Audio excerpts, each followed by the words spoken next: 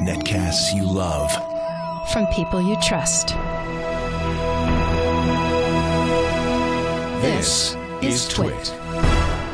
Bandwidth for frame rate is provided by CacheFly at C A C H E F L Y dot com. This episode of Frame Rate is brought to you by Shutterstock.com. With over 1 million high quality video clips, Shutterstock helps you take your creative project to the next level. For 30% off of your new account, go to Shutterstock.com and use offer code FrameRate6.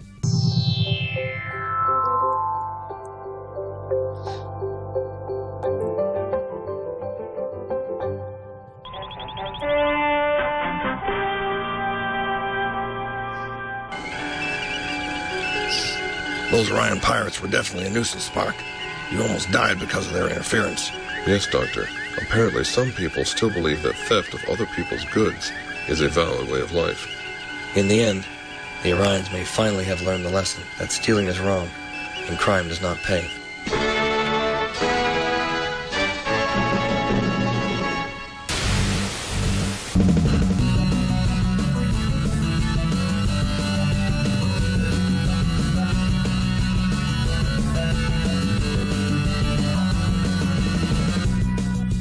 It's Frame Rate. Hey guys, welcome to Frame Rate, episode 128. I'm your host, Brian Brushwood, and this is the long anticipated, much vaunted, uh, long, uh, agonized over episode without Merritt. Tom Merritt is on assignment, I believe, swimming in a pool somewhere. So I pulled in two of my BFFs for the rest of the world to maybe make a cyber Voltron version of Tom Merritt. So please welcome to the show once again, Mr. Justin Robert Young and Scott Johnson of the podcast uh, Frog Pants Network, right? The, the podcast network, right? You had it right the first time. the Podcasting Frogs Network, as I like to call it. And uh, while that would be an incredibly big story, it is not our big story.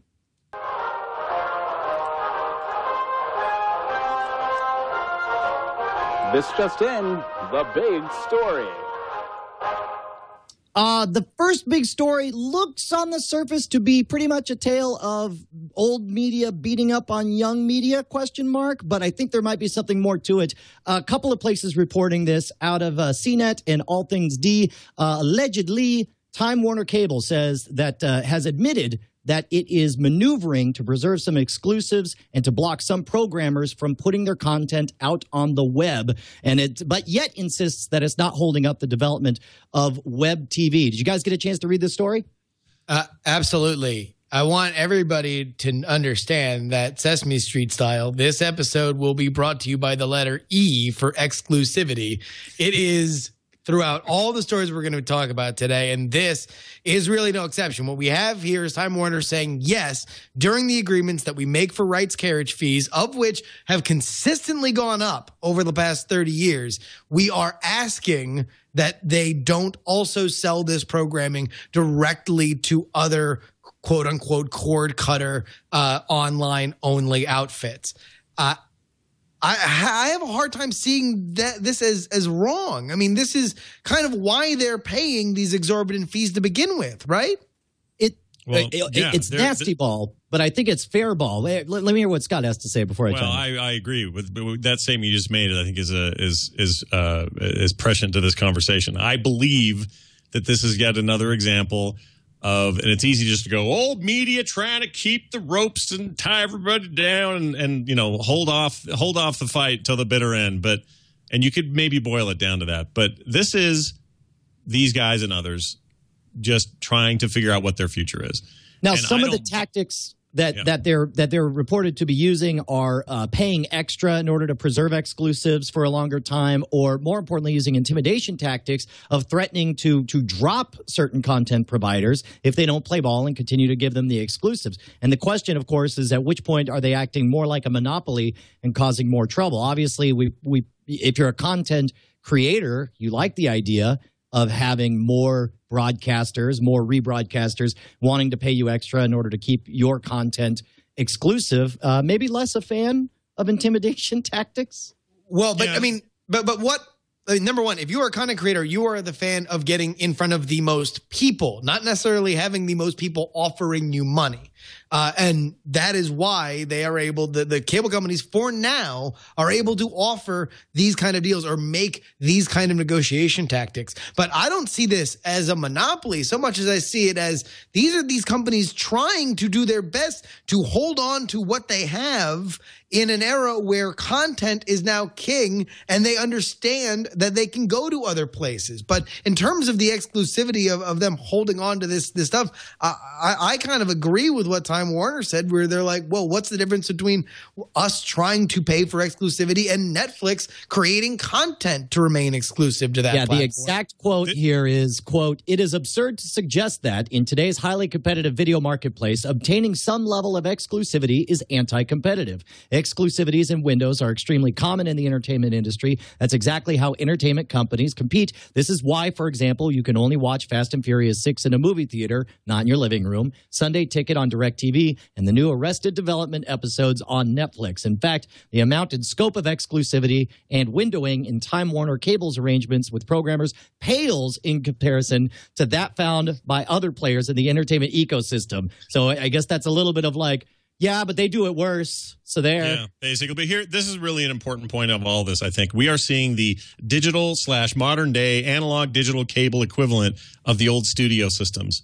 And the way those worked were you had big stars. You got big stars in the picture, see? And it worked for you, the guy who ran huge studio, and you didn't let that star go anywhere else. And that was a weird setup. The way you stayed powerful is you kept your exclusives to yourself. In those cases, those were flesh and blood actors and actresses, and those were, you know, films with big deals and directors and things. And those directors couldn't go anywhere else. They couldn't do independent cinema for, you know, for sure, let alone, you know, go to another studio and do something. When that happened, it was really rare and weird. And eventually, that system didn't hold. So it fell apart and it didn't work. And now we kind of have new ways of doing things for a long time. And I feel like we're just at that point again. Everybody's holding on to their equivalent of an actor they don't want to get rid of or somebody who's important to them and their bottom line. In this case, it's shows, it's showrunners, it's content, it's IP.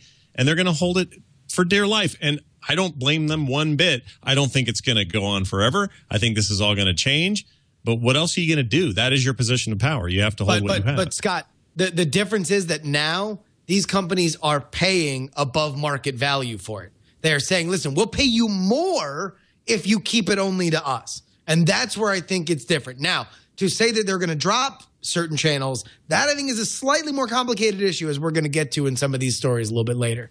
Yeah, before we move on, real quick, uh, we've mentioned it before, but if you read uh, The Master Switch, a book about how information empires crumble, the trend is, as Scott pointed out, that in the early days, you have a disruptive new media. You have everybody running a land grab to figure out what their brand is until the next disruptive media comes out. And then you have band aids like this that try to keep the structure in one place until finally it crumbles all the way down. Uh, but uh, I guess let's. Uh, speaking of which, one of the things a lot of these people do is they try to come up with a new novel form of presentation, which directly ties into yet another big story.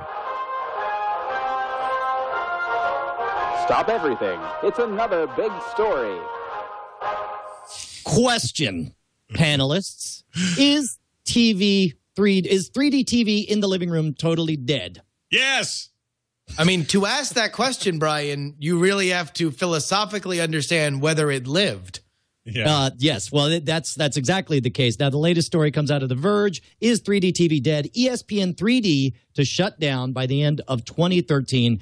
Uh, it's going to be very, very difficult for me to not want to do a giant victory lap on this because even as for the last two years, it, after the meteoric rise of the rebirth of 3D in the cinema, we saw a Me Too tag along at CES of all these 3D televisions of every variety. Unfortunately, whereas uh, storytelling and 3D and the technology had advanced considerably over the last decade in theaters, it had not for televisions. You were dealing with uh, with very old technology, uh, active shutter displays that gave you headaches, or polarized views where you had expensive glasses for everyone. Uh, that that that didn't work as well as the circular polarized.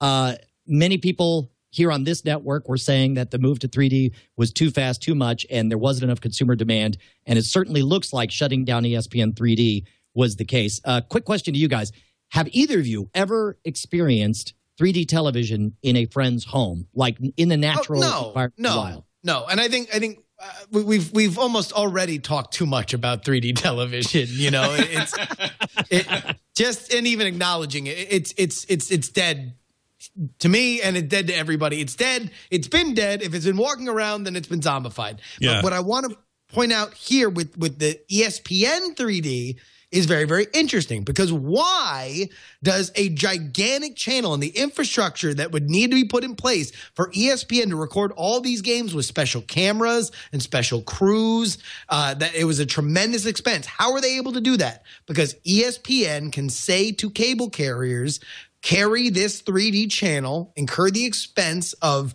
going through, uh, you know, to, to carry this very big signal and put it in all of your homes because we're ESPN and in our, our agreement to keep ESPN on your on your cable system, you're going to also need to carry this channel. Now, the fact that they have taken it off is also interesting because they've had a lot of cost cutting there at ESPN over the past three weeks. Which anybody who you can just Google ESPN and uh, I think Deadspin has carried a lot of their layoff stuff, but it's because they are paying more and more for live sports package carriage fees. And that's where, again, we get back to the central idea of exclusivity of content. ESPN is paying for exclusivity, therefore, they are having to shutter other projects that are kind of dead on the vine and maybe larks to begin with, like ESPN 3D. I don't disagree with any of this. In fact, I agree with it wholeheartedly. But I'll say this about 3D that I think it makes it interesting in our growing entertainment market where we have growing choices. And that is this normally, success of content lots of times depends on the uh, penetration of a technology that will carry that content to you. So it's either VCRs, which won out that fight and beat beta, or it's DVD over something else, or it's Blu-ray over HD TV or HD DVDs, whatever it may be. Whatever the prominent technology is that that is in the installed base of homes usually wins the day, and then content is made for that because there is this base that you can deliver your content to. 3D is a really weird case because you can't buy a TV just about just about true. You cannot buy a TV at Costco, for example, in a in a large configuration that doesn't have 3D built in. It's all standard stuff now. And every time you go in there to buy a TV, you're getting 3D capability out of those things for the most part. And yet nobody wants to bring content to that in any form. Video games, all that stuff died on the vine. You notice at E3, nobody talked about 3D at all. Like it was zip, Not nada. The E3 previous to that, Sony couldn't shut up about it. They made a TV for it, for heaven's sakes, just for game consoles. Like that went from, you know, awesome to nothing. Uh, and I think that's just interesting that we have an installed base of 3D televisions and nobody gives two craps about building te- uh, content for it now. Well, Or either that or I- they, or I- they did and now they're pulling out. I, th- I think you actually hit upon something here because uh, in in the late '90s, every you couldn't buy a new computer without a DVD drive, and nobody was using the DVD drives for everything, for anything at all. It was uh, like maybe you would watch a movie, be like, "Why would I want to watch a movie on my 17 inch monitor when I have a big, uh, you know, not even high def, a big screen television at home?" But it wasn't until there was a big enough install base that all of a sudden a new use for those drives to to have uh, you know video game assets, the ability to put five gigabytes of of background assets for you know whatever game. All of a sudden, they're like, well, hey, we got you know sixty percent market penetration. That's enough that we can start selling these bigger games. Uh, unlike that, with with 3D televisions, there's not anything besides just the 3Dness to it. Now, that technology, if it could be used for something else that did provide a bigger value, you know, I could see that happening. But for right now, it's pretty clear that uh, at least as it exists now, with either the active shutter or or the um, you know the, the lenticular displays or whatever, uh, the the customers have spoken. Yeah, just about the only device that I think delivered on its promise of 3D was uh, the 3DS, and it- even that's a pain sometimes, and you have to sort of do it on a game by game basis. But And, and that was without glasses. Right. Yeah. That's without. That's an I mean, important that's- factor in that- this. that's that- that's that was maybe the that's maybe the most important factor here is that you don't have to put on some clumsy glasses. You can just play that thing, and if you don't like it, you can turn it down, and if you really don't like it, you can turn that thing off. And that's a huge that's a huge part of this. Otherwise, it's an ordeal. Where are all my remotes? I don't know. They're probably in a box with those four pairs of glasses we paid too much for. These have scratches on them. The dog ate one. Like there there are home there are home problems that let 3D not be a thing that I gave that I gave too much care for when it uh, when it happened. Well, the good news is that I'm certain the death of 3D and the yanking of 3D from ESPN will surely be the last terribly negative story that we have. Let's move on to another big story. Tuck in your bootstraps. It's yet another big story. Lucas and Spielberg predict a massive implosion in the film industry. That's our other positive spin story that we have right here.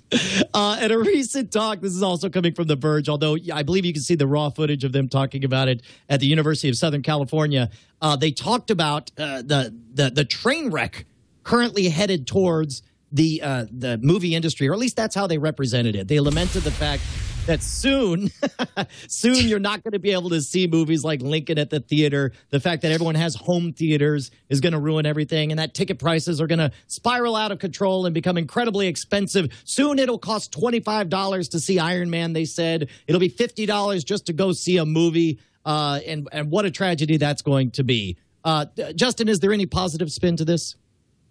I mean, George Lucas was out in the sun, right? Was it outside? no, it was at night. Unfortunately, It was, at, it was at night. Okay. Then, then that- no, you're right. No, nothing positive came from it at all. Uh, yeah, I mean, I, I don't. These guys know film and the film business better than all of us combined. So, I mean, it's hard to say that they are, you know, anything other than prescient in, in stuff like this. But uh, I think that it's I, kind of disagreed with Lucas's point of view that we were going to have fewer movies stay in theaters longer.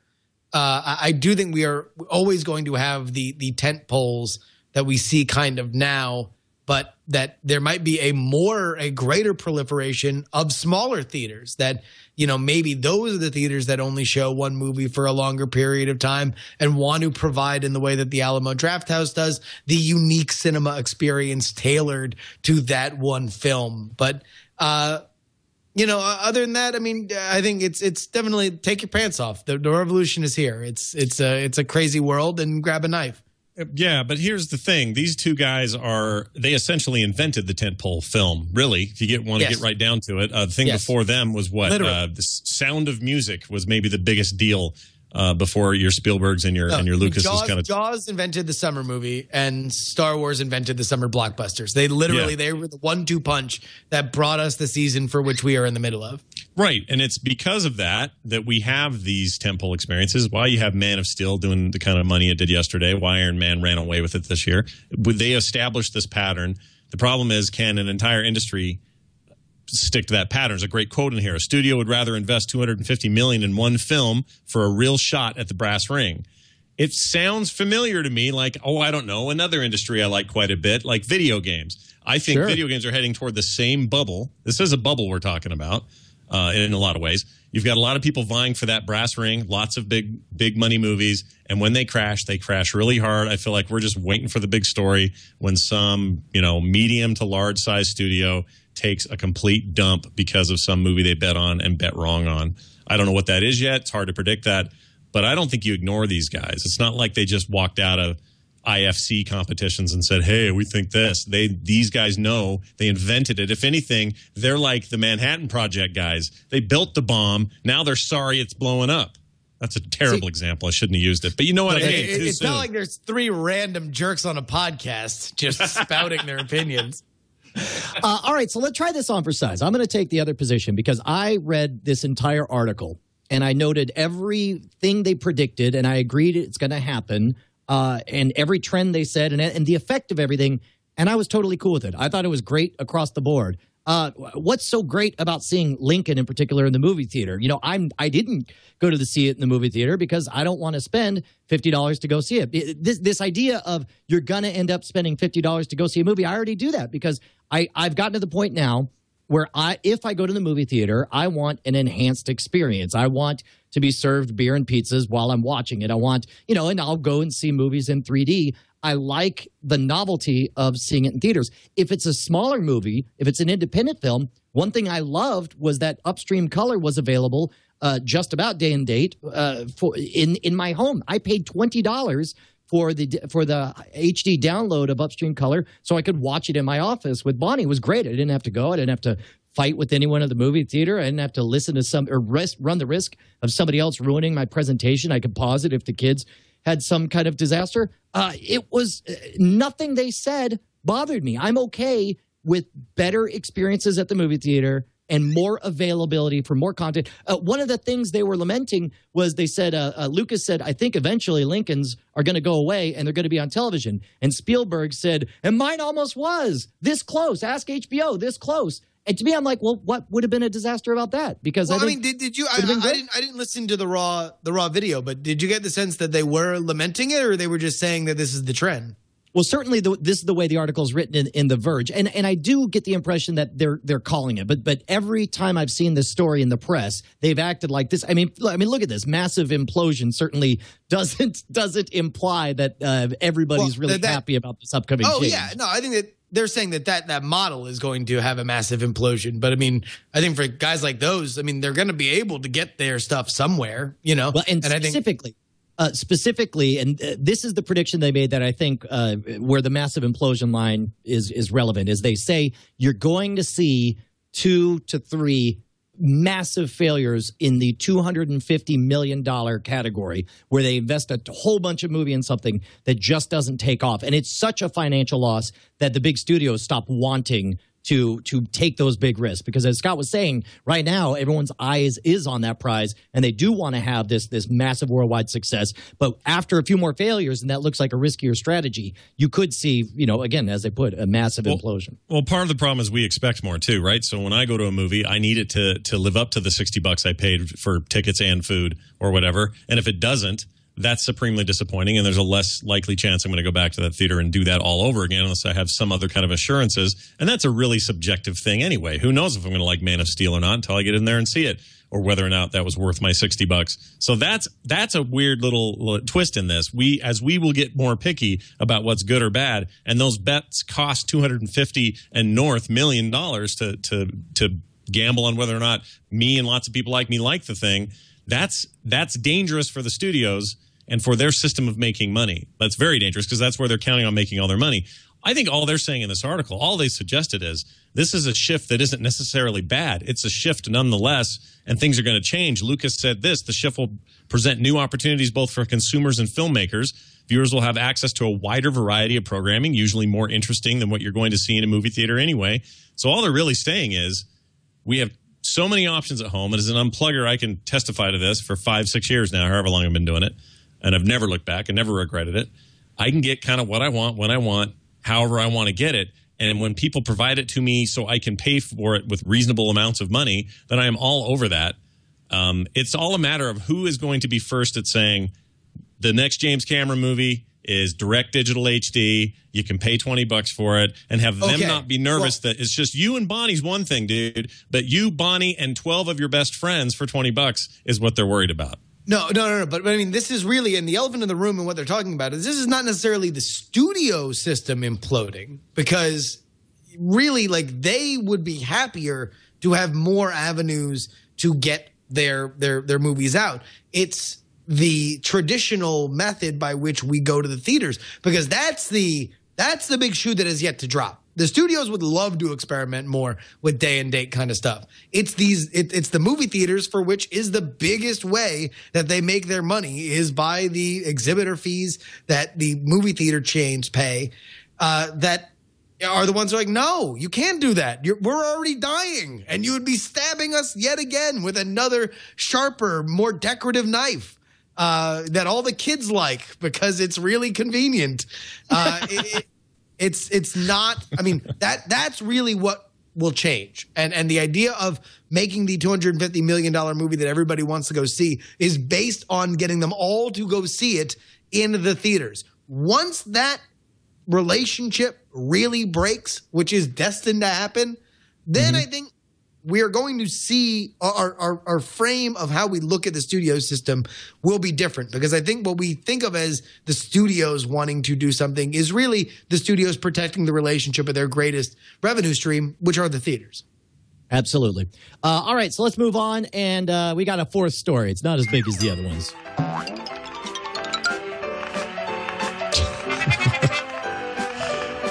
DirecTV executive blasts broadcasters at a congressional hearing. Uh, let me get this guy's name. This is an LA Times story that somebody forwarded to me over Twitter. Uh, in a testimony to the House Energy and Commerce Subcommittee on Communications and Technology, DirecTV executive vice president Mike Halkovic said new rules are needed for broadcasters when it comes to negotiating and distribution contacts uh, contracts with pay TV distributors. Basically, they're talking about, he called the system completely broken, saying that it's a 600% increase per subscriber between 2010 and 2015 for the retrans fees, which we've talked about and stuff like Aereo gets around. Uh, and then meanwhile, other folks, let me see, get the um, uh, Marci Burdick, a uh, senior VP for broadcaster Schurz Communication, says, quote, the retransmission consent system in place today has a success rate of 99%. Only in Washington, D.C. can something that works 99% of the time, providing for thousands of deals every year, be called broken, she testified. Oh, I'm a little I'm a little blown away by some of these numbers. Check this out. 1992, the broadcasters, meaning the big four, right, or the big three, even. No, there was Fox was there then. Uh, Sure. They own four. They own four cable channels. Today, they own over 104 cable channels, a uh, 2,500 percent ownership increase. Now, I don't know what that means on the good or the bad or the ugly, but good lord, man. Here's They- here's what it means. And and this is the other side of the the first story that we were talking about in terms of, you know, intimidation tactics being used to say, well, we don't want to, you know, carry your stuff unless you play by our rules.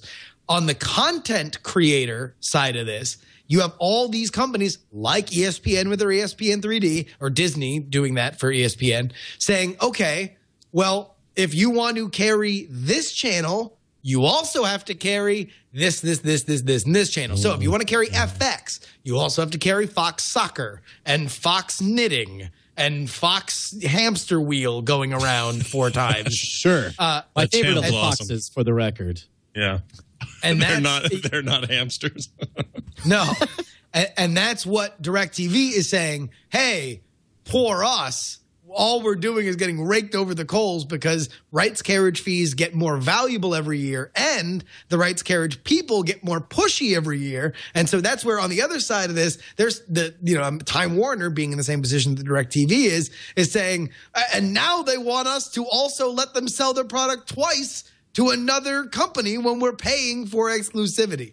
So i- i- it's it, it's a really complicated issue that these people have gotten themselves into. Uh, Well, all right. I, well, I would I would pay. oh, go ahead. listen, I'll get I'll get cable again. I'll pay for it again if I get foxes in a running wheel. You've convinced me to come back. I'm plugging back in a in. running everybody. wheel? Yeah. That's my new adventure flick. I'm really excited about. Uh, hey, let's take a moment and thank the folks who make Frame Rate possible. We're talking about our friends over at Shutterstock.com.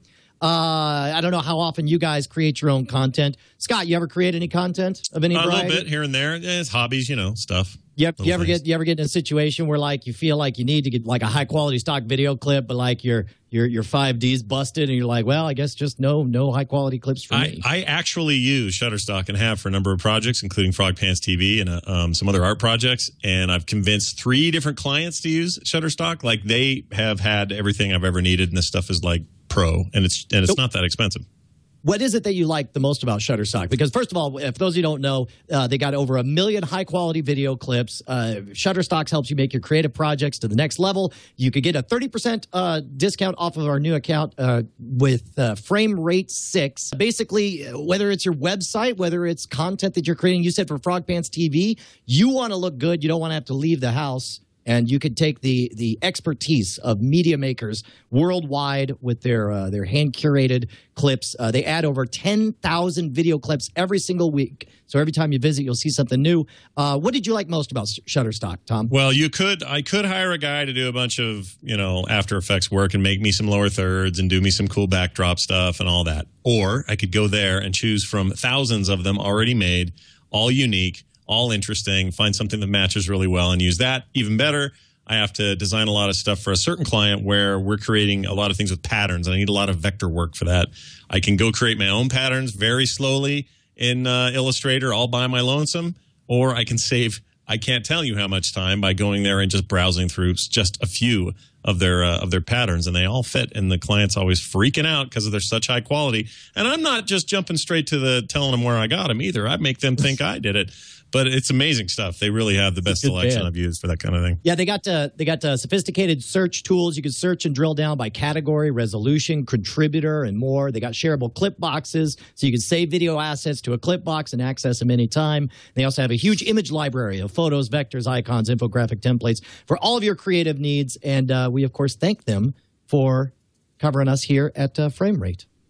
Frame Rate Six, 30% off all your new accounts. Let's take a dip into the strip slip the strip sleeve. That is, of course, where we strip and then sleam our way skeezily down the road. Gross. The Slipstream is streaming services, the services that bring you the shows and channels that you dig. And we got uh, this one came from uh, Mark. Doesn't say where this article was sent in. Uh, Mark K, I assume over Twitter. Uh, the mega ticket concept for World War Z. This is exactly what we were just talking about about unique presentations, right, Justin? Uh, absolutely. So they want to go ahead and give you the the big package. Uh, I'm not sure exactly what it includes, but Uh, it'll be it, it, it- the big package includes getting to see the movie two days early. Now it's fifty dollars, but you get to see the movie two days early in 3D, and you get a small popcorn, and you get the promise that when the Blu-ray comes out, you'll own it. And that it's that last part that I think on paper has the biggest value, but in my gut would be the least satisfying part of this bargain. Well, there's five. basically, So, go, uh, go ahead, Justin. Go ahead. uh, you, you- you're looking studios are looking for a way because if you look at like movie you know grosses that we look at a lot when we do the summer movie draft the biggest breakdown that you see is like okay well it made this much 2d this much 3d this much imax. These, these are studios trying to make another category like that without having to have the technological infrastructure to make you pay more money. So they're doing their you know all right jump the window of uh you know jump the window of availability a little bit. And then also they kind of do themselves a favor by saying all right well then x amount of people are going to pre-buy this thing and we'll see how that goes. Now i think it's not a, a it's not a mistake that they are trying this with world war z and not man of steel because they want to make sure that they get all these things right before they start rolling them out in huge tent poles when they will be judged by audiences as saying well this was worth 50 and this was not worth 50 Quick, uh, quick Right. correction. I said, uh, I said the Blu-ray disc. It's when the Blu-ray disc comes out, you get a download. So there's not any physical fulfillment on that, and you do get when you go to the movie theater a pair of limited World War Z 3D glasses and a full-size limited edition poster And Uh, a small of that, I think, popcorn. is- Don't forget one small popcorn. It says here. All of those are silly pretty high. I wonder if you can upgrade for a quarter. That always gets me. Uh, about eight bucks. Um, So- so here's the other you? Thing: this you a- got you got to live in L.A., you got to live in Houston, you got to live in San Diego, Atlanta, or Philadelphia. So they are only rolling out this idea, and obviously big cities where they can get good test data and stuff. But do you guys think, like, do you guys think this is just going to roll out everywhere, and I'm going to be able to do this at my local Lehigh megaplex over here? Without Here's a doubt, the thing. next year. Really? Right. You think so? Yeah.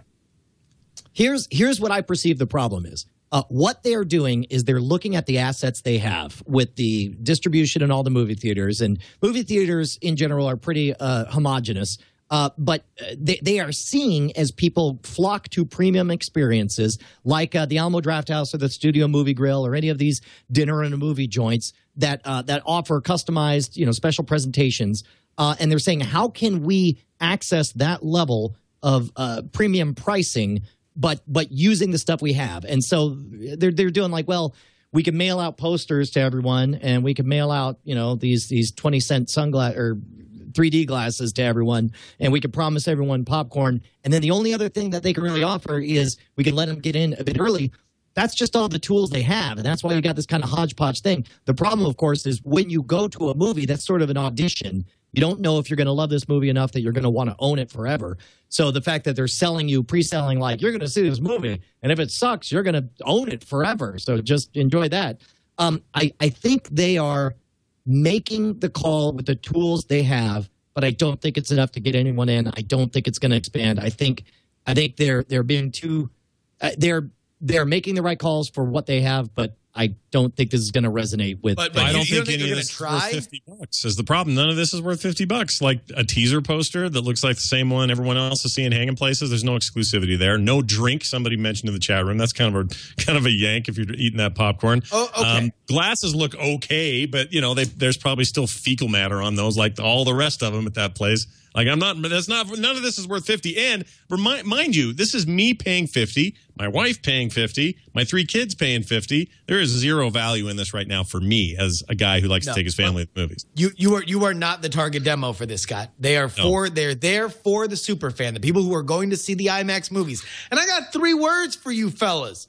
2015 Star Wars, Avengers 2. All these gigantic movies. Are you telling me and there's not an audience to see those movies 2 days in advance for paying 50 bucks and then getting a handshake and and four t-shirts and a hat with a hole in it? That's uh, absolutely something that people are going to go for. Yeah, This I is agree. actually- uh, but it's limited, dude. That's all I'm saying. I feel like they've You- limited Th- the There's a limited of this fifty bucks. Say, uh, see the new Star Wars two two days in advance for a, a retarded markup. Okay, now well, back this up. What if we went back to uh, like like just a, a month ago? What if it was for Iron Man three? Like for World War Z, part of the thing is two days early for World War Z. I mean, I don't Nobody know who's cares. excited about that, but Well, Iron Man no, 3, wait. This is what they have do. World War Z is not interesting to me unless they also make it rated R like it should be, not this PG thirteen garbage. So maybe then we'll talk. Maybe fifty bucks is worth it if you crank your rating up a little bit. But that's I mean like yeah like World War Z. don't don't focus on World War Z. This is a this is a test run. This is a dry run. There's a reason why they're doing it on this movie because it's not going. They want to make sure that it physically kind of works from pillar to post. That people can buy tickets and then at the end they get their stupid download. This is a Uh, concept built for the big fan movies.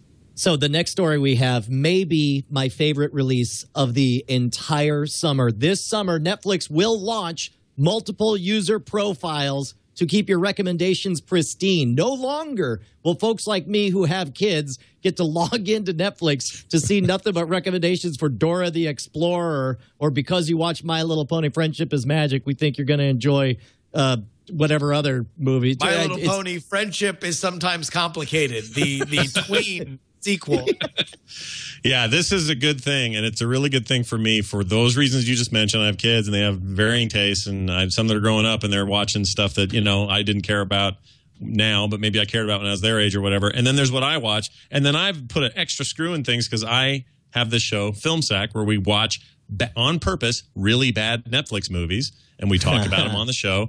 Now, my recommendations make it look like a nightmare. Like it's not right what I've done to my family's recommendation list. So let's separate that all out. I'm all for this. This is great. Yeah, it's uh, it got better when my kids were able to access the kids only version on the Xbox because like I watched uh, this film is not yet rated or it was in my queue or whatever. So every single time we were calling it up, like next to the cartoons was this naked woman being branded. Uh, so uh, that that got better, but now the reverse is the kids, of course, watch so much content on so many devices that I can't even access. Every single time I went to watch Arrested Development, I had to search it again from scratch because it had dropped off my recently watched queue just in the time from from the kids doing everything. I am curious though to see how they're going to offer the clean slate, like whether or not you start from scratch or if it recognizes like, hey, when you first opened this, these were the movies you like. You want to go back to that, or if they'll make a guess as to you know which are the kids' movies My and which my, my guess is you have your one haunted uh, account, and then you can either choose to start fresh with a new account, or uh, just say, "Well, maybe I can rehabilitate this one," and I give the kids their own. Yeah, probably that. But even in, I mean, if you imagine the recommendations you get when you mash up SpongeBob SquarePants, Killer Clowns from Outer Space, uh, Blues Clues, and Pulp Fiction, it's a nightmare what you get. It sounds like it actually sounds like an Indie Award winning film. That's for sure. Uh, Exactly. Netflix just Buffalo announced a new deal. 66 is the answer to that question. Netflix just Nice. announced a big deal with DreamWorks Animation to run 300 hours of original TV series uh, exclusively through Netflix. Or it says original, so I'm assuming this is in the same vein as their Arrested Development deal, as the House of Cards deal, but original content, uh, kids shows from DreamWorks Animation based on properties, including uh, now we had previously mentioned uh, the Turbo series. You know, the, one of the later movies this summer is uh, I think it's called Turbo about the Fast fast Snails snails. movie. Yeah. Yeah, snail deal. Yeah. Flying around, man. Those cra- those snails are crazy. Don't even get in their way, man. They're going so goddamn fast. but the thing is, uh, they uh, uh, they're That's developing a snail, man, going by. other properties based on characters from it says it uh, licenses characters from Kung Fu Panda, Madagascar, and Monsters vs. Alien. Aliens to Nickelodeon, which is producing original animated TV shows. So I'm going to assume that those are not the characters it's talking about. Uh, very few details on uh, the amounts and the properties coming, but I do know that in general, I think I think uh, I think right now DreamWorks is the best it's ever been in the quality of their animation and presentation and storytelling, and I'm excited to have better content for the kids to watch because a lot Well, of the it- stuff they're watching It's right going to be huge. It'll absolutely be giant. Like there's there's a reason why they have a section in, in Netflix. I mean, you can go documentaries, you can do you know all these uh, horror and, and action and whatever. And there's a one that's just freaking kids, just for kids. And they do that because they know that there's a huge part of the audience of Netflix users out there where moms are parking kids in front of seasons upon seasons of I don't know, Hey Arnold or whatever, and they're just consuming it, and they know there's a market for that to keep people subscribed. This makes perfect sense. It's a totally sweet move for Netflix, and they honestly would be dumb if they weren't pursuing something like this. So that's a huge get. The only thing bigger would be Pixar or something, and they've already got Keep that Disney deal, so it's great. Keep in mind also, like uh, And Netflix is Pixar doesn't training. do television.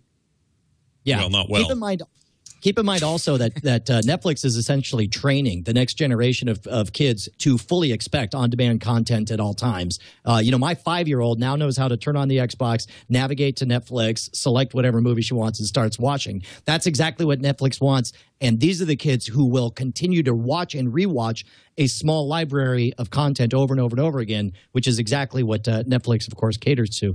Uh, Well, one, and, and also, this is also a big thing. And, and Brian, you would be the one to you know be able to speak to it as well as uh, Scott. That if let's say you take your kid to go see a movie and they really like the characters, and all of a sudden they hear that there's a show where they get to see more of those characters, and you are not a Netflix subscriber, and that show only exists on Netflix, seems Yep. like a pretty big no brainer just to go ahead and get Netflix, right? Yep. yep. So and they of uh, somehow know that's the funny thing is they figure this crap out they know uh, before i do that certain kids programming's coming my daughter knew about the disney deal before i did she's right now over in that corner drawing watching deep space nine episode after episode after episode this is a generation that is raised This is to what you teach your kids. Deep Space Nine. Oh yeah, dude! Freaking look, Odo over there. He probably has to get in his, the liquid form any minute now. It's going to be great. All right. So, uh, one of the complaints that you get from uh, Hulu Plus is that people hate spending money and then having to watch ads anyway. So, UK broadcaster ITV offers a three pound ninety nine. I don't know whether is it shillings, pence. I don't know what their cents are. Sure. Uh, live TV streaming for iOS uh, that removes commercials. So clearly, everyone is going to love this idea and flock to the service, right? Well, Well, who a- knows? Yeah, yeah, who- yeah. But but answer- isn't that going to get someone's going to kill it first, right? Because that sounds highly suspicious to me. The the answer is uh, no. For the requested three ninety nine a month, you get act, uh, access to the last thirty days of ITV's catch up program acro- across uh, five different channels without advertising, as well as live simul- simulcast uh, over Wi Fi or three G. And uh, so far, people seem to hate it. They uh, there's a lot of negative comments on the app saying, "What? Pay three ninety nine to remove ads? Why not just use service whatever?" And they mentioned a, a cloud based DVR type thing. Uh, they expect us to pay to view ITV three and four, and they of course these are people who are accustomed to paying a TV license as well. So these people feel like they're being double dinged by having to pay a TV license and then paying again to remove the ads on there. Uh, I'm kind of surprised this is the first service of this kind that I've really seen, where it's like you get a decent spread of commer- of channels you, with no commercials. It's basically what we're begging for for Hulu Well- Plus the United States. They have it, and then they don't like it.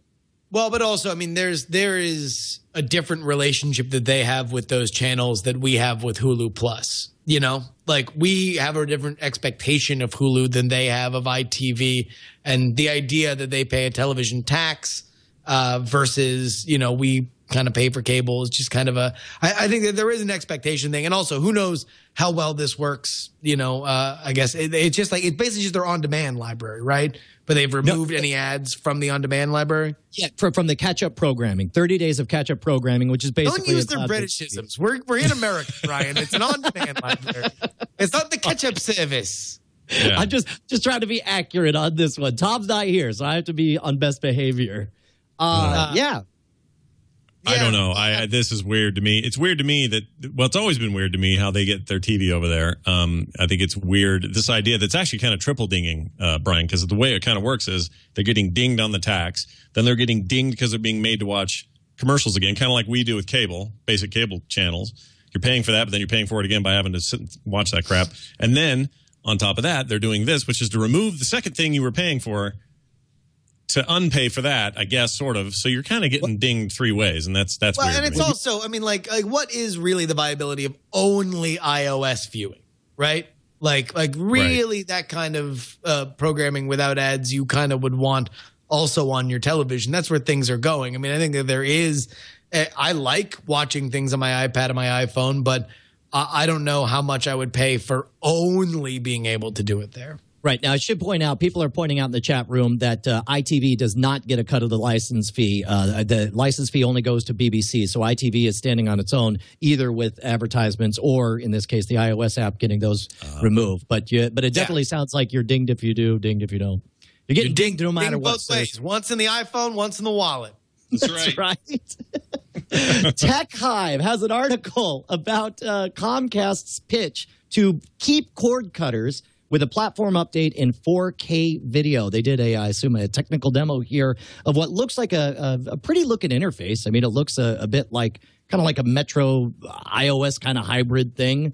But uh, has a bunch of smart home capabilities in there, so you can set up your channels. It'll make intelligent rec- recommendations, and uh, most importantly, souped up HD. We're talking 4K Ultra HD. They're calling it, and uh, the ability to, with their download speeds, with their new network, be able to download it as they say in seconds. I don't know necessarily what that means. They didn't promise any date that this would happen, but uh, from what little we've seen here, is this even worth them investing their time and effort into? Is it possible that Comcast could offer an enhanced experience to the level to where you're happy to continue to pay your monthly cable bill? Well, they're sure not. They're sure not.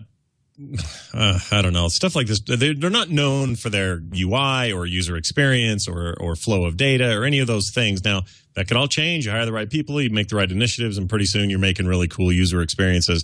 But just looking at this, this thing is lifted off the Xbox 3, 360 uh, dashboard. The font Yeah. even there, like that is ridiculous. And it's not that. I mean, everybody's kind of. This is what happens with design. Big new UI ideas come out, and everybody kind of adopts them. We're seeing that with iOS 7 and Windows 8 and and Android, and they're all kind of doing the same the same kind of rotation on each other and kind of lifting ideas from each other. So I totally get that, but n- this screenshot will never be enough for me. Like Comcast, janky boxes, crappy DVRs, and all, not just them, all the cable provi- providers, all the DirecTV and all the Dish Network people, they're terrible. They've been historically terrible, and they're terrible today. If that's going to change suddenly, that'll be awesome. But forgive me for being skeptical because that's well, but, but also, I mean, like, you, you still got to, if you're a cord cutter, you still got to pay for internet, right? I mean, I know Yeah, here i- in my apartment, the fastest, most reliable internet connection is from Comcast. So that's what I'm broadcasting to you on. And I will not speak an ill word of the sweet children. uh, but uh, yeah, I mean, I think that i- i- it's so is this their pitch to get cord cutters to buy te- their television service again? Or Uh, well, just just just to don't leave. We got something really awesome. Don't don't be Well, well, hanging don't, up. Don't leave. Don't leave television, or don't leave buying internet from us. Don't leave uh, Comcast. Their exact statement uh, Comcast chairman, CEO Brian L. Roberts called X1, quote, an incredible example of what's possible with cloud innovation. With the introduction of web based content to the platform today and the promise of a faster and more integrated experience with X2, we're adding more functionality to each screen in a customer's home and transforming our video product into a complete entertainment operating system. wow. So I have no idea what that means, or if it answers the question on whether or not they want me. Because I mean, if this is a pitch for cord cutters to say, "Hey, listen, so you're not buying our cable." sucks, but here's some other cool stuff. Then I think that's a win-win. I mean, uh, for a lot of people, Comcast is the fastest internet solution for them, and if they get a more and better experience, then I agree with you. Although I'm with Scott, that actually seems like direct, not even just the Xbox panel, but just uh, but the HBO Go Xbox Yeah, interface yeah. Specifically. Like it looks like a direct. It, it, it even looks photoshopped. I'm not going to accuse them of that, but it's just got this feeling of jank. And I don't know what that, you know, like this is less of here are more reasons to stay with us. This is no, wait, here's a different screen, blah, and stick it in front of my face with the same thing I got to pay for and the same problems I have with paying for it. The reason I don't pay for cable isn't because I can't get it on my iPad. That's not the What- reason. If I was playing, if I was paying for cable, that is a thing that would be cool, but that's not why I quit paying for it. So this doesn't help me at all. Like zero. This gives me zero reason to go back. None. Yeah. Well, and this is all. Keep in mind, they didn't just call a press conference and outright say, "Please stay with us." They, you know, this is all couched as the the premiere of the uh, you know the exclusive X2 system that's coming up uh, down the road. So hopefully, you know, if you're already a, a customer of Comcast, you'll be excited about what's coming down the pike. But otherwise, uh, I'm with you guys. I'll, I'll believe it when I see it. So we'll see. Uh, I'll believe it when. I understand what they're actually saying, which I don't understand now, and I hope to understand in the future. One more quick note: uh, YouTube Network Fullscreen. These are the guys behind uh, Five Second Films and uh, a number of different content uh, productions. Uh, they have 2.5 billion monthly views. And the Chernin Group and a few others, uh, Comcast Ventures, WPP Digital, just gave them a fat chunk of change, rumored to be in the neighborhood of uh, $30 million. And I guess not much to say outside of that. This is another case of another out of the box content provider, uh, at least raising enough attention and enough money from uh, from the powers that be to. Um, it's another. I don't know. It's another vote for new media. I guess. Here's here's here's what it's a vote for: original content, Yes. exclusivity of original content. That is what they are creating. That is what they are paying for. Fullscreen runs more than 10,000 channels on YouTube with more than 150 million total subscribers and 2.5 billion monthly views. So you think they're just buying real estate, Justin? I think that they are betting that you know the trend that original content will continue to be king is going to you know again win the day, and that It's they would gonna be rather bloody. bet on Dude. these new stars. It's going to be so bloody. This whole thing is just going to be. I mean, we think it's we think it's rough when the the the music industry had to finally concede and go, all right, these download services are going to be the way we're going to get music to people. We're just going to have to concede this. That was nothing. I feel like this TV thing and just video content generally is going to be a bloodbath. And the stuff like this, when I hear about it and I hear Justin remind me of why they're doing it, and I agree with him, that is exactly why they're doing it. It's why any of them are doing any of this. It's all about original content. That is the power they wield in this era. And it, it's at some point, somebody's going to get stabbed. Someone's going to get shanked. It's going to be bad. I don't know who it is. I don't know who gives up. I don't know who waves the white flag. But at some point, you, Brian, Justin, we don't have, we will not have enough money in our bank account to pay for 500 subscriptions. At some point, it has to give, and we have to have three or four central choices, maybe even less than that for most people. That, I don't know when that happens or when that day comes, but there, there's going to be blood. Man, You have a cold apocalyptic view of the future, Scott. I kind of do. I All right, do. let's, I do uh, about this. It's just so bubbly. It's just waiting to burst. But anyway, let's sorry. let's Go ahead. move on to tube tops.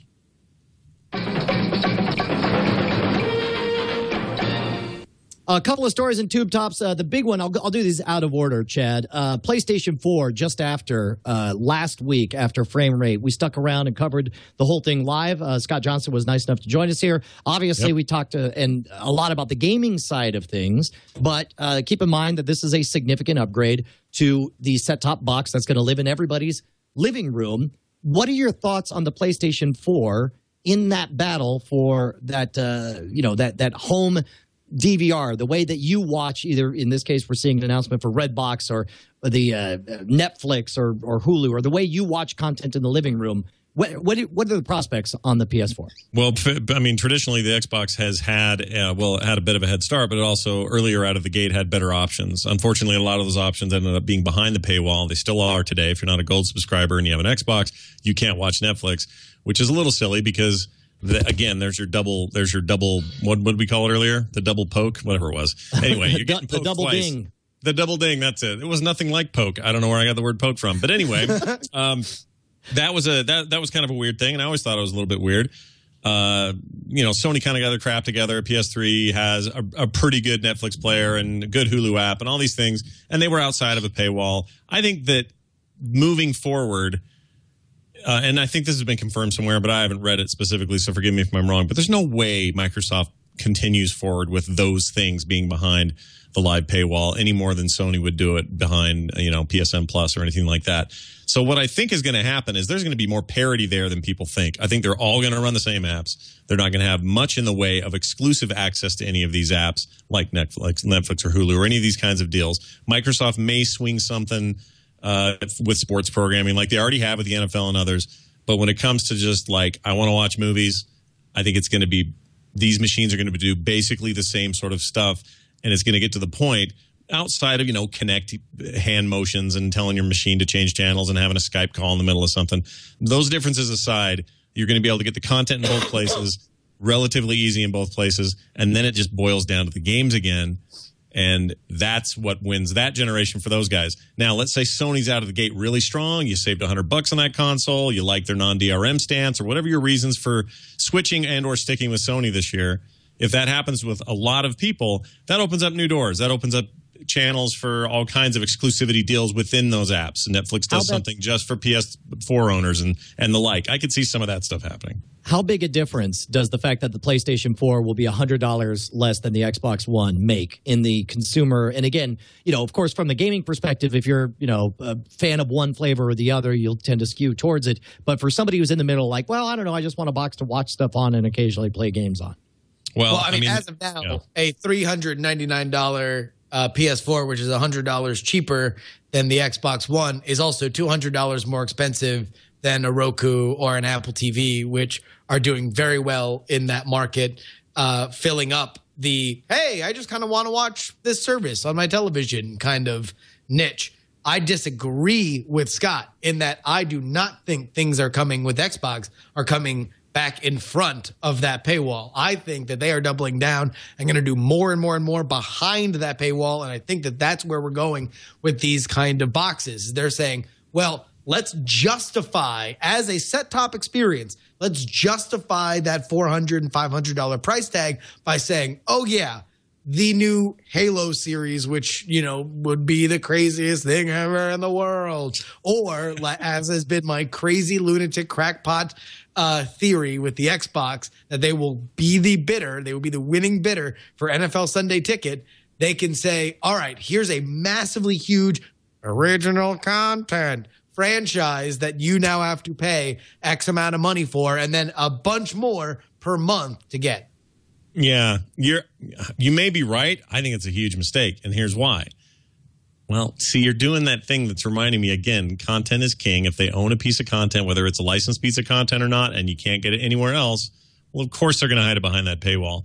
But when it comes to putting Netflix behind a paywall, when all your competition, including all these lower cost devices you mentioned, which are doing well in the marketplace, when those don't have paywalls like that, the choice becomes much harder to say to justify that Xbox One. Now, Sunday NFL ticket's going to be a huge thing for a whole bunch of people and worth every penny for them, and they'll sew up whatever that market is. But I feel like this. I feel like if these guys don't jump into this new era, this new this new generation of set top box slash game console, and they don't do it with a much more open, uh, sort of non exclusive kind of way of moving forward, they're both going to lose because Yeah. gamers are savvy. Home entertainment people are getting more savvy. I don't think it's just as simple as saying, "Ah, you had an Xbox before, you liked it, right? Well, they get you got to get the next one because who knows what other hell device you could buy that would ruin your life." Now, what about what about this, Scott? What if, could you see a world where, let's say, Xbox wants to, to keep everything behind their their paywall? Uh, could it be that we start seeing, uh, you know, uh, that they push Xbox 360s for ninety nine dollars? Now you are competing with those Roku boxes, and you're in the ecosystem, so you're getting the Sunday ticket and all the exclusive content and uh, and and all that stuff. Like, is that something that you could see them attacking the higher end and the lower end? Of the ecosystem at the exact same time, Well- if that happened, would that put the squeeze on PS4? It would, but I don't see how they Well, I mean, you know, all the talk about the 360 being uh, on a chip now, and them shipping that thing in like a tiny little box, and that was going to be a direct competitor to things like Apple TV and things like Roku. That made a lot of sense to me. That rumor, I thought that had some real legs. The chip part is actually true. Some, you know, they they there are engineers at Microsoft confirming they've got a thing about this big running 360 games and running 360 ecosystem and, and OS and everything else. So I thought, I really thought on stage they were going to say, there's this hot new thing. It's going to play all the latest games, going to have all this stuff, all this interface stuff. And for you guys who just want a little TV player and it also plays your old games, check it out. Here's this little one, and it's tiny and it fits under everything, and it's not going to cost. It's going to cost you a hundred bucks. I mean, that I think that was maybe a missed opportunity, and I guarantee Well- that was on the table at some point. But it probably also made them think they were going to compete with themselves, and I understand that on the media side, but. That's I mean, how listen, you do it. It is it is a very old lesson with Microsoft that just because Microsoft can do it or has created it does not necessarily mean that we will ever see it.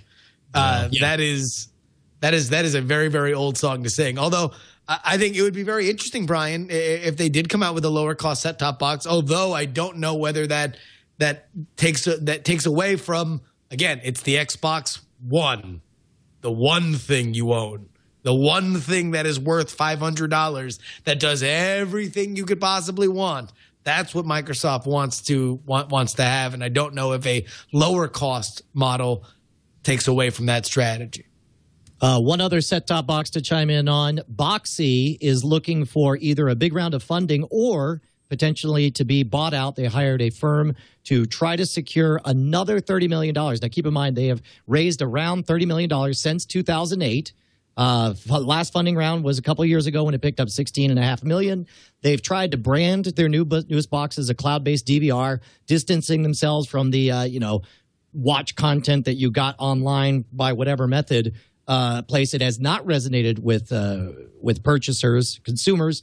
So now they're in a situation where we either need a lot more money, or they've put out feelers saying, or if you're looking for an all-in-one solution for whatever your cable service is and an awesome interface and box, we could talk about being bought out as well. Is this uh, is this super bad news for for Boxee, or is this this? is uh, th- these guys are the they're the they're the blackberry of this fight. They're the the hacker darling that couldn't couldn't go past when when all this stuff kind of went mainstream and Roku's became a thing and they were affordable and Apple TV kind of made a little bit of a, a stink and all these again game consoles started changing things.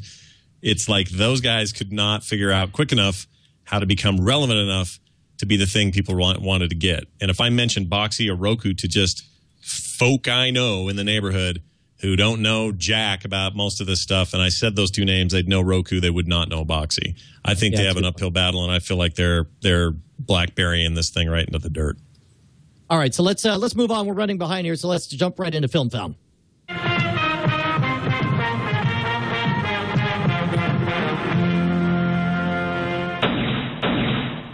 The new Elysium trailer is uh, completely awesome. It's available right now. I don't think we have time to really watch a lot of it. Did you guys get a chance to take a look at it? Yeah, I can't Uh, i have not no but i'm looking uh, forward to it because i was kind of left a little bit cold by the first one Uh, well, the first one didn't really give you a lot of the story. This one, at three minutes, you get a substantial amount of of what the story is about and the character and why you should care about it. Uh, the only thing I worry about it is that um, it may be the kind of thing where. Uh, the the marketing for District Nine did such a good job of selling the world that you went into the movie really not having any idea what the story was. This one you're seeing substantial elements of the story, and the question is, are they really showing the bulk of the first two acts, or is this all stuff that happens in the first thirty minutes, and the real story is what comes later on? Yeah, I'm I'm beyond excited for it. Uh, to keep it short on my end, I just think it looks like the, it's maybe the movie I'm most excited about for the rest of this year.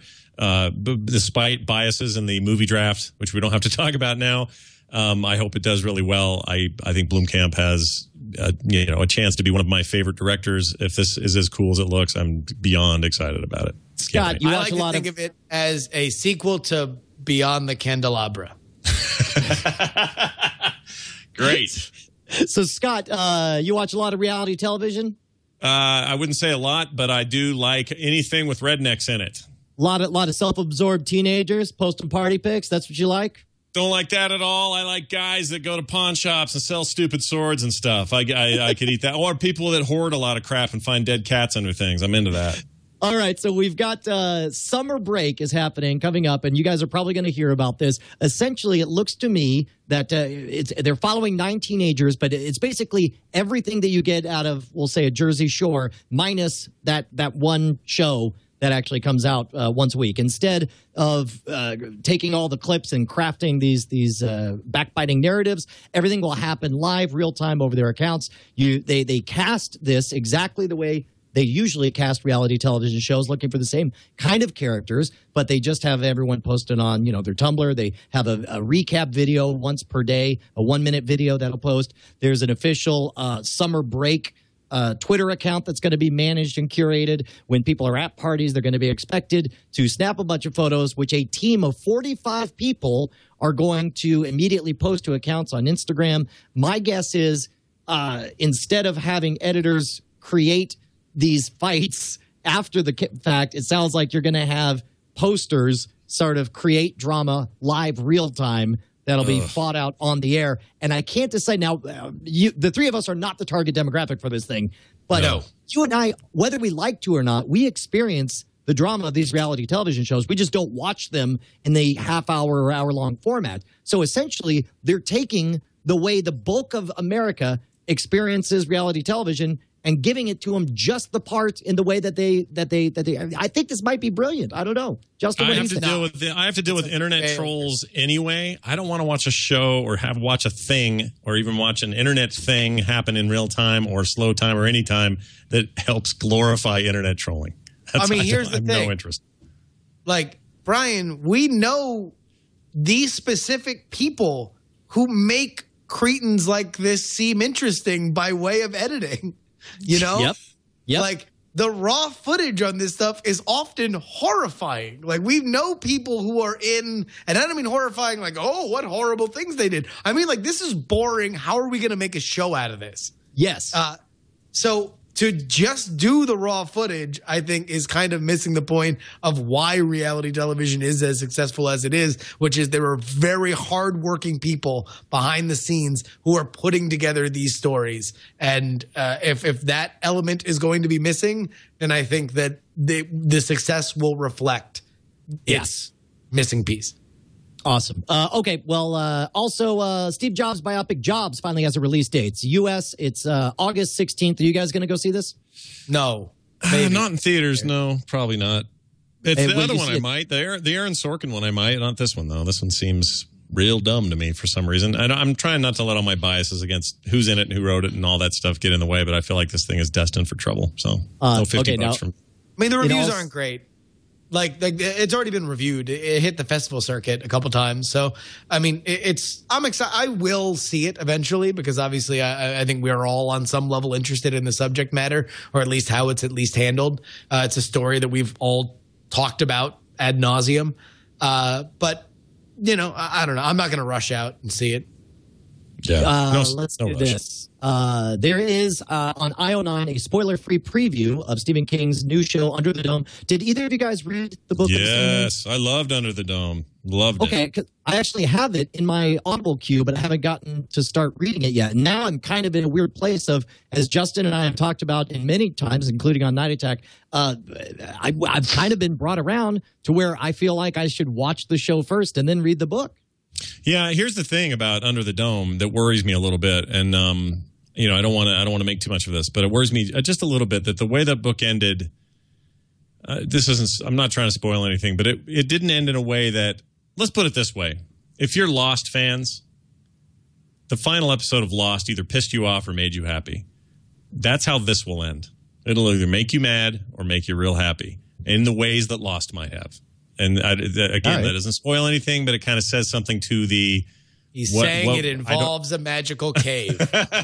there are no, there are no magical caves, and there are no uh, Paulos and what's her name's getting buried halfway through the season or anything like that. But it is a, it's one of those things where I feel like it's an idea I would have had when I was twelve, and I would have said, "What if a giant dome was just going to land here and you couldn't get out of it, and everybody was inside that was inside, and like if a dog was halfway out, it'd like chop the dog in half? Wouldn't that be, you know, like I can see myself coming up with this idea when I was a kid. But Stephen King does that with his concepts, and then just runs with it and the relationships and the personalities involved. It's an awesome book. So if they do this right, the the journey will be worth no matter what the ending is if they ever end it. Right on. Uh, Yeah. Game of Thrones is the most pirated uh, finale, or the Game of Thrones finale is the most pirated ever on BitTorrent. Flat out, full stop. King of the What is that? cheapskates. King of the cheapskates. Now, how much of this? Now, this is a great title for HBO because, as we've talked about before, HBO is really interested in the reputation of creating extraordinarily high quality content that encourages people to pay to be part of the HBO team. Uh, but is this a case where the, the headline certainly indicates that this is the most popular thing ever? But you got to remember that HBO sort of on purpose creates a black market by making it difficult to get it through any kind of legitimate source unless you are a paying HBO customer, right? Well, Well, yeah, a it's my- paying cable or satellite customer, and then a paying uh, HBO customer. So even i- i it's it's two levels there. But yeah, uh, it, it's it, it, it interesting to me the fascination that people have with with this story, and it is certainly note, noteworthy since it is the most uh, the most pirated in an era when you know most television is uh, kind of more ex- accessible except for HBO, which has kind of kept it strictly behind uh, the paywall unless you know a friend to give you your HBO Go account or something like that. I understand. I mean, they're in a weird position where they want to keep people subscribed and get people to subscribe that weren't before. So they put out amazing content that should feed that machine and keep that cycle happening. But I would really love to pay for more and even obscure and old HBO content on a kind of piecemeal basis. I would gladly subscribe to that via services like iTunes or other pay services, Amazon, whatever. Well, I there's don't know no why old they stuff don't. on iTunes, right? Uh, Uh, not- I don't not think always. so. Yeah, But, I I think they, it's do, they do some stuff. Yeah, Yeah, you might get stuff. Oz, Oz or something, or something that's you know, super ancient, but they're not doing I know the Wire. current. The Wire was on there for a while. I don't know if it's still. Mm. Yeah, Right. but the, my point is, it's it does seem like an But opportunity you for should them watch to double Scott. dip. Oh, you should dude, I watch know. The Wire. Why don't you watch know, The Wire right now in Uh, front of us? I'm dying to watch The Wire. I've been meaning to for years. It isn't one of those things where I'm like, I don't know about that Wire. It's I have meant to, and things keep coming up. Things like Justified and Walking Dead and Game of Thrones and Okay, 50 other you feel things. stop, Shame. stop, stop. Those first two were offensive to use in the same sentence as The Wire. All right? Game Look, of I like Thrones, maybe, but Justified, those first right? two do both of us a favor and, and, and Justified's worth it. Justified's really. I good. love I love Justified, but Uh, I'm, I'm I'm with you that it may be the greatest piece of thing ever made ever. I I've been told that some even Apologize to think- your daughter for not watching The Wire yet.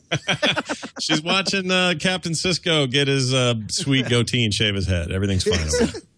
Uh, real quick, uh, there were 170,000 simultaneously uh, simultaneous peers, over a million downloads in 24 hours.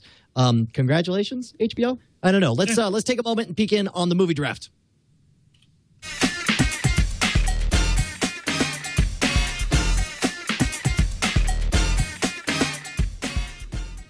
Justin Robert Young finally on the board. Less than 40 million away from taking first place away from me with a massive opening on Man of Steel. 128 million dollars uh, at this point since its opening. How are you feeling right now, Justin? Uh, I, again, there's no joy in any of my releases because like they all they all need to overperform. So it's like the fact that they do well is really just like okay, well, uh, my my season isn't over. That really is all that I had to to rest my laurels on this weekend was that my season wasn't over because basically what it comes down to is that it's a two man race between me and you. It's the rest of everything but week one of Man of Steel. We'll see how far it can climb if it can get into 300 or you know uh, you know high 200s in terms of its revenue, uh, and then that plus Smurfs 2 versus Despicable Me 2, At World's End, and Grown Ups, whatever. And Yeah. uh, that will be the tail of the tape. I think if I'm a betting man, I bet on you. But who knows? People seem to really like the old Punch 'em Up Superman movie show, and uh, that uh, will be interesting to see. Now, keep in mind, Sarah also still has more releases. She has World War Z, but she paid an awful lot for it. Uh, she has done extraordinarily well in two out of her three movies up to this point. The internship, of, uh, unfortunately, is underperforming significantly. But like she has, I believe, like the number two and the number four best values, and the number three and number four best values in the game so far. Well, Wo- So- World War Z has to be like a Star Trek 2 level hit for her.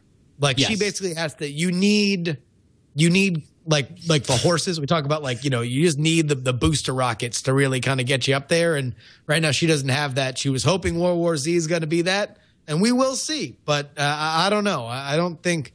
World War Z is, I think they're hoping World War Z is going to be Walking Dead, the movie, and everybody who loves Walking Dead is going to run out and go see that movie. But uh, I don't know whether that's the case.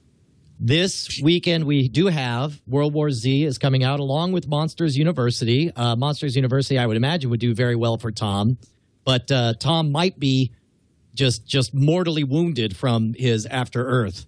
Can we talk about After Earth since Tom's not here? Fine. what, wait, what do you got to say about After Earth, sir? Woo! Woo-wee! Yeah. Good God. That you can still smell After Earth. oh my god! All right, let's uh let's move on to what we're watching.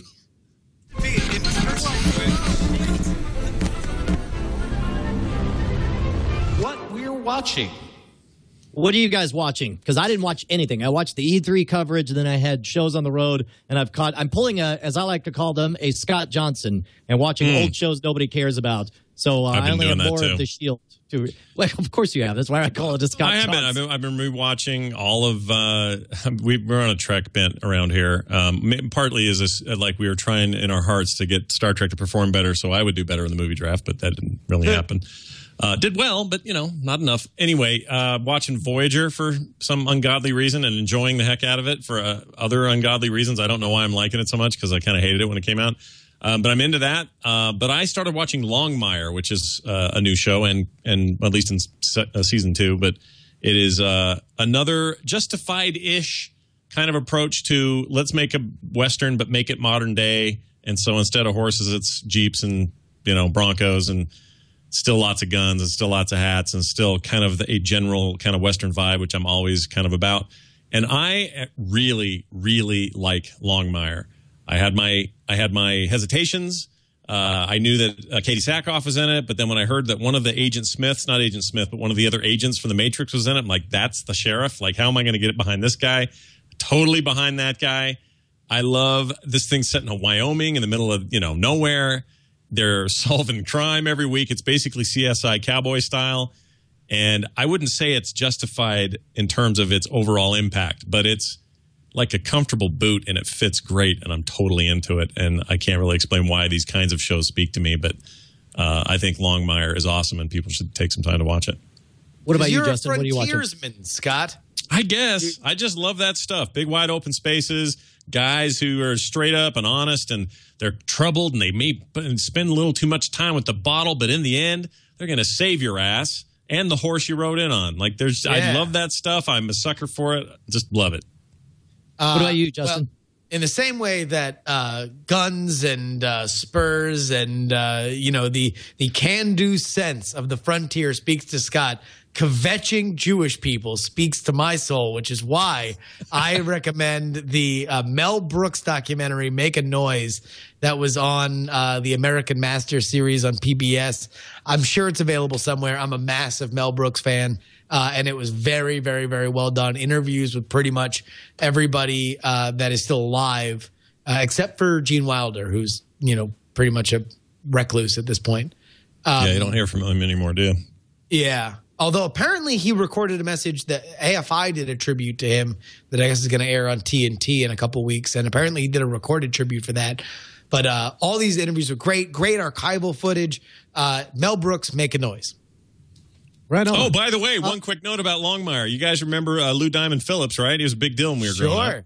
Yeah. He's great on this show. So he's basically the the the the, the white man's emissary to the to the uh, to the res they call it the reservation up there. And he's freaking awesome. That guy. Uh, he's I don't know what the even, I don't I can't even believe I'm saying it because I'm not even a Lou Diamond Phillips fan. Never liked any of his movies much. Kind of I don't know. Just always kind of bugged me. I didn't think he was that great of an actor. He's nailing it in this. He's seasoned in this. He's awesome in this show. Longmire. Right on. Catch it. Uh, well, good. Now it's time for feedback. Now it's time for feedback with Brian and Tom on Frame Rate. Oh, yeah. Yeah, except it's not Tom. It's going to be Justin and Scott. Uh, first letter here uh, we got from Derek Chen, who oftentimes chimes in and sets us straight when it comes to the advertising agencies that work on the web. Uh, we had a letter last week about somebody who saw a very adult advertisement for Saints Row. I forget which game it was, but uh, right in front of his kids. And he says, "Hi, Tom and Brian. Wanted to chime in on the fact uh, on the feedback question about the advert on YouTube." Videos for advertising are subject for review by YouTube, where any objectionable content is rejected, especially when running across YouTube in stream. Uh, once a video is approved, the video should be age targeted if there's a rating, like an MPAA, ESRB rating. Of course, it gets tricky if a child is watching a YouTube or watching YouTube while logged in under a parent's account.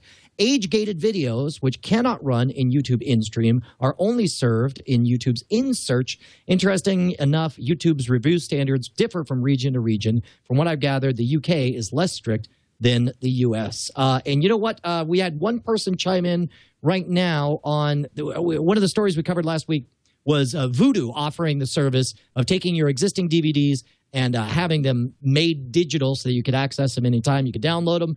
He says, uh, Brent says, after listening to episode 127 last week, I finally decided to give Vudu's disc at home conversion a try. I had been meaning to try their conversion service before, but never got around to taking my movies to Walmart. He says the process was super easy, and within about 30 minutes, he had 21 movies scanned in to be converted to their digital format. Uh, a couple of DVDs thrown in to upgrade to their HDX format. Out of all the discs, only three to four were unreadable uh, or untranslatable. He says there were several benefits to the process. The biggest was the time savings of not having to rip. It was faster than ripping them uh, and then convert it to an playable format. The biggest con to the service is that while you could download digital copies of your new stuff to your computer iPad, it looks like they're only allowing standard definition downloads. He was disappointed, but the streaming quality of the HDX entirely overrides that issue for him. He says the cost of the whole process was much more reasonable than he expected. Currently, you get a $2 credit for the first conversion. This essentially makes it, you know, $1 to get started. The real hook is that they currently give you a 50% discount when you convert 10 or more discs. So in effect, you're con- converting your your discs for a dollar each and 250 for DVDs to the higher HDX format. Pricing combined with the ease of use is a hard value to pass on. Uh, thank you so much, Brent. And don't forget, if you guys want to chime in, make sure to write us at fr at twit.tv or framerateshow at gmail.com. I usually reply, reply to those Monday mornings.